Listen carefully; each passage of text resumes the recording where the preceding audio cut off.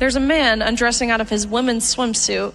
We weren't forewarned we would be sharing a locker room. The only time we became aware that we would be undressing inches away from a six foot four man who's fully intact with an exposing male genitalia was when we were inches away from a six foot four man who was fully intact with an exposing male genitalia. And if we had to see it, you guys at least have to hear about it.